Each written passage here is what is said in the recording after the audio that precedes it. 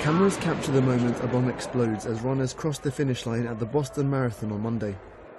The dual blast left three people dead and at least 176 wounded.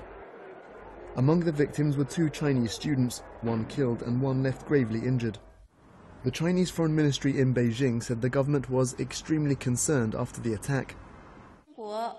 The ministry spokeswoman said Chinese authorities will spare no effort to assist in helping the victims' families.